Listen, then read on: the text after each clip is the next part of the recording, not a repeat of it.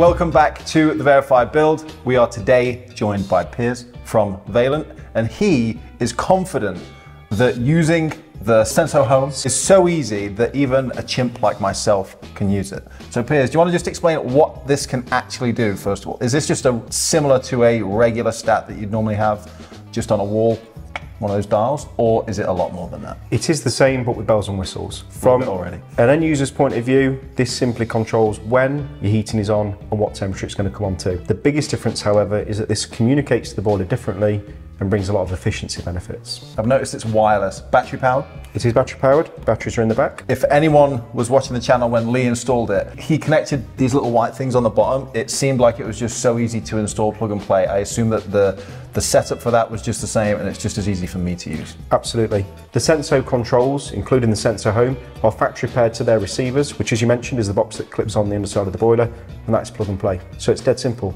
Plug that underneath the boiler, plug it in, and this is ready to go. You're gonna set me a challenge right now to try and use the Senso Home and set a schedule. What else can I do? So when you first turn it on, it'll ask you a series of questions, and those questions basically lead to some predetermined times and temperature set points to suit the answers to the questions that you've given. Someone had an email. So the first thing I'm noticing right now is it's not responding to me. Why does it not look like it's on? So we mentioned that it's battery powered, mm-hmm. and to essentially make the batteries last as long as possible, it goes to sleep. To wake it up, we simply press the button that's on the top, and it'll come to life. Ooh, as if by magic. And how long will that screen stay on before it turns off again? Usually 10 to 15 seconds. What shall I do? We're going to change your weekly planner. So it's asked you some predetermined questions, which has populated the programming within the control. So we're going to go in and make a change to it. Now what you'll notice is that there's only a limited amount of green lights on the display at any time. Yeah. And that basically stops you from pressing something that has no function. So it's described as touch screen, it's touch sensitive, so you can only press the bit that's illuminated. To confirm, it's the buttons that are touched, not the actual screen itself. Correct. right? If we go into the menu first of all, so by pressing the three lines together, that will give you three main options. You can control what's going on, you can look at information, or you can go into the settings. Now, because we want to change the way it's being controlled, By the way, this is really responsive, which is nice. It's not like it's sluggish and I'm like swiping and then it moves around. This is actually, as you would expect, a modern touchscreen device to work. yeah. Something else that's cool is that it's got three ways in which you can navigate. So you can either tap, scroll, or hold. Oh yeah. You guys have thought of everything on this one. We'll go into the control, and then we press the tick, and then go down to your zone, which is your heating. Are some of these going to be more installer focused? Yes. Then if you go to your weekly planner, and then you've got your days of the week. So that currently shows you the block in which that is operating for. So it'll give you the start time and the end time. So if you select the day that you want to make a change to, and you can add a time period or you can modify one that's already in place. Now I've noticed that yours is on from 6 till 10 at night at 14 degrees, which basically means that it's off. So if you want to modify that one, it will give you your start time. So you can change that by scrolling. Again, if I mention you can tap it, and if you try holding it, it'll scroll through as well. Once you've decided which time you want to select, Let's do nine. Time to go to bed. About 8.30. Really? Now, quite interestingly, a lot of people set the target temperature quite high. What do you think would be a sensible temperature?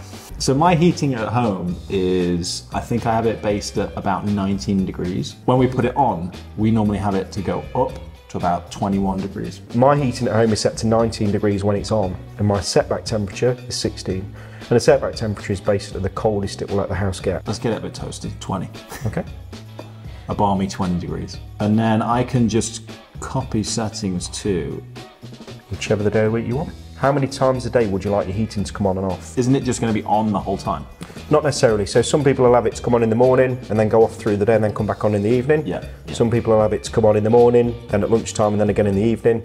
It's all dependent on individual needs. These controls can do up to 12 time slots a day. So how do I do that? So if you go back into your weekly planner and select your day and then add a time slot. And then you can just add another one in. And you can do up to 12 different ones a day. Now the other thing as well is that you don't always need to go into that menu to make a change. Let's say your routine had changed for some reason and you decided you wanted to pop the heating on for an hour. If you come back to the very first display that we saw, you'll notice that the slider is actually illuminated. You can quickly override it to either turn it up or down, so you can turn the heating on or off within those time periods as well. Yeah, we can choose that for the next few hours or permanently valid for all time periods. So that's going to override everything. Yes. Let's just give it a boost. Oh, nice. Okay.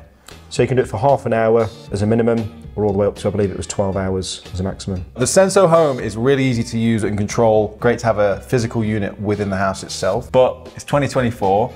Everyone's got a smartphone. Is there a way of controlling either this or the boiler with our phone without the need to use this as well? The MyVaillant Connect gateway connects to the MyVaillant app. And essentially, this works now as an app alongside your Senso Home. And you can access that from anywhere. You don't have to be on the same Wi-Fi or anything. You could be out the house and control everything. Yep. So the gateway connects to your Wi-Fi itself, and then this connects remotely through the internet. And then can you just quickly run through the type of controls that you can expect to see just on that app? I assume it's got everything that's on here, but if you can just give me a quick tour. Pretty much, yeah. It's slightly different interface as you can imagine because obviously it's a different thing. Yep. In simple terms, you can turn the temperature up and you can turn it down. You can change the duration of time that you're going to override it for. You can also look at your mode that the appliance is going to be working in. So for example, if it was summer or you were going away, you can actually turn the heating off. So offers quite a few different options through an app as well.